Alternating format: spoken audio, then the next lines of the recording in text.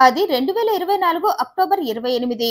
ఆ రోజు ఒడిశా భువనేశ్వర్లోని క్యాపిటల్ హాస్పిటల్కి ప్రద్యుమన్ కుమార్ దాస్ అనే వ్యక్తి తన భార్య చావు బతుకుల మధ్య ఉందని ఎలా అయినా ఆమెను రక్షించమంటూ కొనవూపిరితో కొట్టుకుంటున్న తన భార్యను హాస్పిటల్కి తీసుకువెళ్ళాడు దీంతో అక్కడి డాక్టర్స్ వెంటనే రియాక్ట్ అయ్యి అసలు నీ భార్యకు ఏమైందని ప్రశ్నించారు.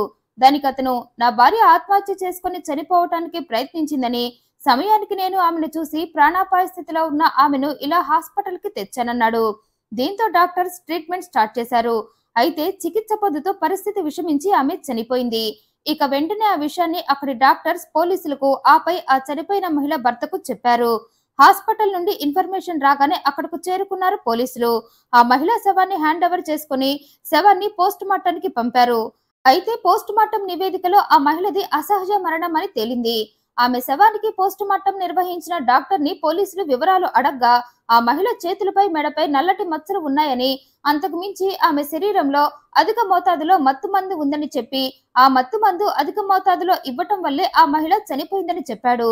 దీంతో ఆ కేసుని హత్య కేసుగా నమోదు చేసుకున్నారు పోలీసులు. ఆ మహిళ భర్త దాస్ నే ఫిర్యాదు చేశాడు. అయితే పోలీసులు ఆ మహిళను ఎవరు చంపారా అని ఎంక్వైరీ చేస్తూ అందులో భాగంగా ఆమె ఆత్మహత్య చేసుకుని చనిపోయిందని చెప్తున్న ఆమె భర్త దాస్ నే మొదటిగా విచారించారు. నీ భార్య ఆత్మహత్య చేసుకుందని నువ్వు చెప్తున్నావు. ఎందుకు చేసుకుంది? నీకెలా తెలుసంటూ ప్రశ్నల వర్షం కురిపించారు. అయితే మొదట తిక్క తిక్క సమాధానాలు చెప్పి దాస్ కేసుని తన మీదకు రాకుండా తప్పించుకునే ట్రయల్స్ చాలానే చేసినా పోలీసుల కఠినమైన విచారణతో తనే ఇద్దరు నర్సు పాపలతో కలిసి తన భార్యను చంపేశా అని ఒప్పుకున్నాడు. ఇక ఈ దాస్ చెప్పిన నర్సు పాపల కథ విని షాక్ అయిపోయారు పోలీసులు. ఓ మనిషిని ఇలా కూడా పంచుకుంటారా? అసలు ఓ మగాడితో ఇలా కూడా శృంగారం చేస్తారా? అందుకోసం ఇంతకు తెగిస్తారా అని ఆశ్చర్యపోయారు. శుభశ్రీ ఈమెది ఒడిశా కుర్దాలోని బీజేపీ నగర్. ఈమెకు తన పేరెంట్స్ కేంద్రపారా జిల్లా కసోటికి చెందిన ప్రద్యుమన్ కుమార్ దాస్తో పెళ్ళి నిశ్చయం చేశారు. ఈ పెళ్ళికి ఇటు శుభశ్రీ మరో పక్క దాస్ హ్యాపీగా ఒప్పుకున్నారు.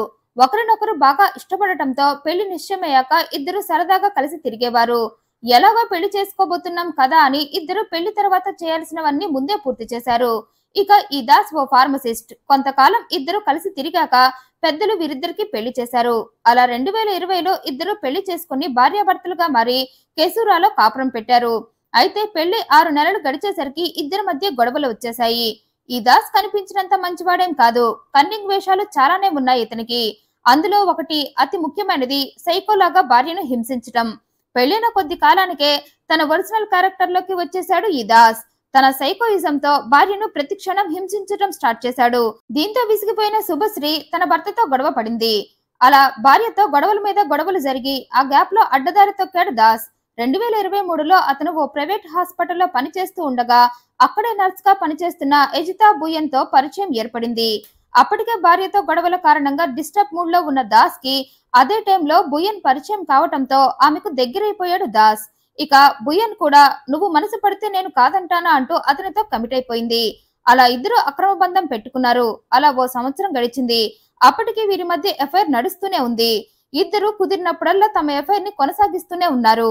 అయితే ఇక్కడే మరో యువతి ఈ ప్రేమికులిద్దరి మధ్యలోకి వచ్చింది. దాస్ కొంతకాలం బుయన్ పనిచేస్తున్న హాస్పిటల్లో పనిచేశాక రెండు వేల ఇరవై నాలుగులో వేరే హాస్పిటల్లో జాయిన్ అయ్యాడు. ఇక అక్కడ కూడా దాస్ గ్యాప్ తీసుకోకుండా ఆ హాస్పిటల్లో పనిచేసే రోజీ పాత్ర అనే నర్స్తో పరిచయం పెంచుకొని ఆమెతో కూడా ఎఫ్ఐఆర్ పెట్టుకున్నాడు. పైగా తన మొదటి ప్రియురాలు బుయన్ గురించి రోజీకి చెప్పి ఆమెను రోజీకి పరిచయం చేశాడు. మీ ఇద్దరు నా ప్రియురాళ్ళే మీ ఇద్దరు నా రెండు కళ్ళ లాంటి వారు ఇద్దరిలో ఏ ఒక్కరూ లేకపోయినా ఒంటి కన్నుతో నేను బ్రతకలేనన్నాడు. దీంతో ఈ ప్రియురాళ్ళిద్దరూ కాంప్రమైజ్ అయిపోయారు.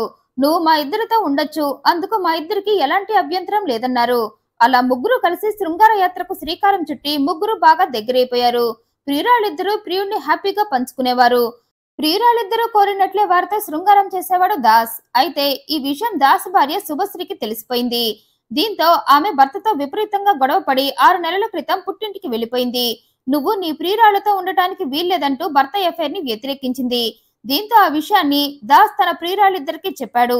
దీంతో ముగ్గురు ఈ సమస్యను ఎలా పరిష్కరించాలా అని బాగా ఆలోచించి ఫైనల్గా శుభశ్రీని చంపేసి ఆమె అడ్డు తొలగించుకొని తర్వాత ముగ్గురు హ్యాపీగా శృంగార యాత్ర చేద్దాం అనుకున్నారు. అందుకే శుభశ్రీకి మత్తు మందు అధిక మోతాదులో ఇచ్చి చంపాలి అని ప్లాన్ చేశారు. కారణం తన ప్రియురాలిద్దరూ నర్సులుగా హాస్పిటల్లోనే పనిచేస్తూ ఉండటంతో మత్తు ఇంజెక్షన్ వారికి ఈజీగా దొరుకుతుందని.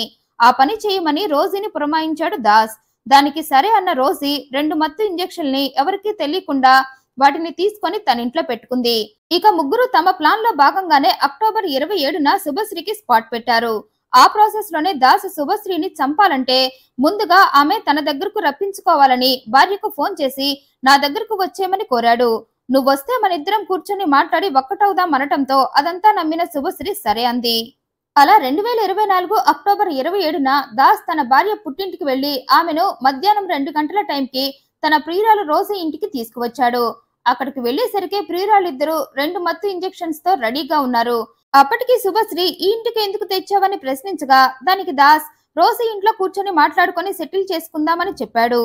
అలా శుభశ్రీ ఇంట్లోకి రాగానే ప్రియురాలిద్దరూ ఆమెను గట్టిగా పట్టుకోగా దాస్ ఆ ఇంజెక్షన్స్ని తీసుకొని భార్యకు పొడి చేశాడు.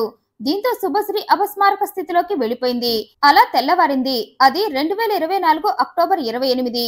ఉదయం టైంలో దాస్ తన ప్లాన్లో భాగంగానే తన భార్య ఆత్మహత్య చేసుకుందంటూ తాము ముగ్గురం కలిసి రాసుకున్న స్క్రిప్ట్ని హాస్పిటల్లో డాక్టర్స్కి వినిపించాడు.